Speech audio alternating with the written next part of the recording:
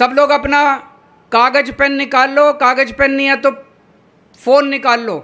मैं बताऊँगा कि आम आदमी पार्टी की सरकार आने से हर महीने कितना फ़ायदा होगा। तो मोटे मोटे तौर पे तीन हज़ार रुपये महीना तो बिजली का बिल बचेगा। बचेगा कि नहीं बचेगा? दो हज़ार, तीन हज़ार तीन हज़ार मान लो, तीन हज़ार रुपये तो बिजली का बिल बचेगा। फिर आपके परिवार में जितने स्कूल जाने वाले बच्चे हैं, पढ़ाई करने वाले बच्चे हैं अभी आप एक एक बच्चे पे कम से कम तीन हज़ार रुपये महीना खर्च करते हो पढ़ाई कराने के लिए स्कूल में। करते हो कि नहीं करते? तीन हज़ार कम से कम खर्च हो जाता है। तीन बच्चे हो तो दस हज़ार रुपये महीना लगभग खर्च हो जाता है। अब आपके बच्चों की फ़ीस की चिंता करने की ज़रूरत नहीं है, केजरीवाल आपके बच्चों की फ़ीस भरेगा। आपके लिए स्कूल बनवाएँगे, दिल्ली में खूब शानदार स्कूल बनवाए हमने। पूरे गुजरात के अंदर मैंने प्लानिंग करी है गाँव गाँव के अंदर स्कूल बनाएँगे, शानदार स्कूल बनाएँगे। अमीरों के बच्चे भी पढ़ेंगे, गरीबों के बच्चे भी पढ़ेंगे। दिल्ली के अंदर एक ही डेस्क पे जज का बेटा आईएएस अफसर का बेटा और रिक्शे वाले का बेटा एक साथ बैठ के पढ़ते हैं। अब दिल्ली में मजदूरों के बच्चे डॉक्टर बन रहे हैं। रिक्शे वाले का बच्चा इंजीनियर बन रहा है, वकील बन रहे हैं। गरीबों के बच्चों को बड़े शानदार उनके सोचो जब डॉक्टर बनेगा एक रिक्शे वाले का बच्चा, उसकी महीने की कमाई होगी तीन लाख रुपए। वो अपने माँ बाप की गरीबी दूर करेगा। आपके घर में जितने बच्चे हैं, उनको शानदार शिक्षा दूँगा। उनको उनकी फ़ीस की, उनकी कापी किताब की, ड्रेस की चिंता करने की ज़रूरत नहीं है। आपका भाई, आपका बेटा केजरीवाल सारा इंतज़ाम करेगा आपके बच्चों की शिक्षा का। तो दस हज़ार रुपये इसके बच गए। तीन हज़ार रुपये बिजली के बच गए। आपके घर में कोई बीमार होगा, चिंता मत करना। भगवान ना करे बीमार हो, कोई ना बीमार हो, सब लोग स्वस्थ रहें। लेकिन अगर आपके घर में कोई बीमार होगा, उसके इलाज का सारा खर्चा मैं दूँगा। उसका इलाज, उसकी दवाई, उसका टेस्ट, उसका एडमिशन, उसका ऑपरेशन, दिल्ली के अंदर हमने सबका इलाज मुफ़्त कर दिया। दो करोड़ लोग, चाहे अमीर हो, चाहे गरीब हो, चाहे इस जात का हो, चाहे उस जात का हो, चाहे बच्चा हो, चाहे आम औरत हो चाहे आदमी, सबका इलाज मुफ़्त कर दिया। शानदार बड़े बड़े हॉस्पिटल बनाए हैं, शानदार मोहल्ला क्लिनिक बनाए हैं।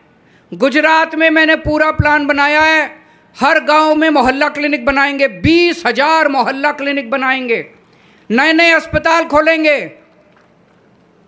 याद करके देखो जब कोरोना हुआ था गुजरात के अंदर, कितना तड़पे थे आप लोग।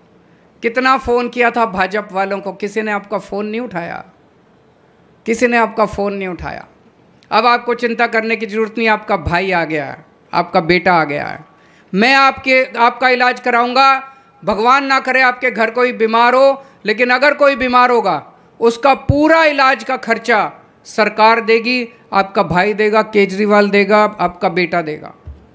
महीने में पाँच सात हज़ार रुपये तो खर्च हो ही जाते हैं बीमारी में, दवाइयों में। सारी दवाइयाँ मुफ़्त होंगी। तो पाँच हज़ार रुपये इसके बच गए। तीन हज़ार रुपये बिजली, दस हज़ार रुपये शिक्षा, पाँच हज़ार रुपये दवाइयों के अट्ठारह हज़ार रुपये उसके बाद जितनी अपनी बहनें हैं अट्ठारह साल से ऊपर की बहनें हैं, कॉलेज जाती हैं, उनकी पढ़ाई रुक जाती है। पैसे नहीं होते बाप के पास। मैं बहुत सारी ऐसी बच्चियों को जानता हूँ जो घर में बैठ जाती हैं क्योंकि पिताजी के पास पैसे नहीं हैं। अट्ठारह साल से ऊपर की हर बेटी के हाथ में हर महीने उसके अकाउंट में हज़ार हज़ार रुपये डालेंगे।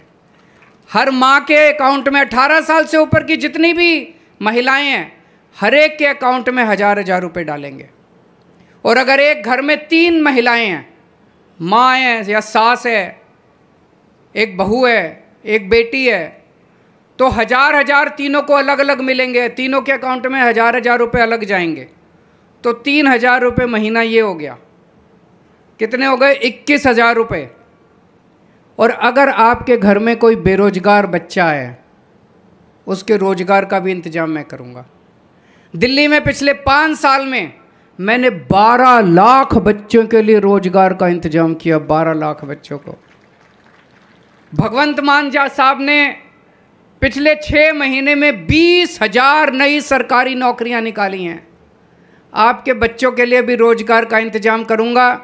और जब तक रोज़गार नहीं मिलता, तब तक हर महीने उसको तीन हज़ार रुपये महीना बेरोजगारी भत्ता मिलेगा।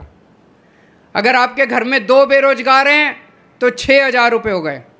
तो सत्ताईस हज़ार रुपये महीने का फ़ायदा होगा आम आदमी पार्टी की सरकार से। सही है कि नहीं है? गलत तो नहीं बोल रहा? सारा हिसाब किताब करके दिखा दिया।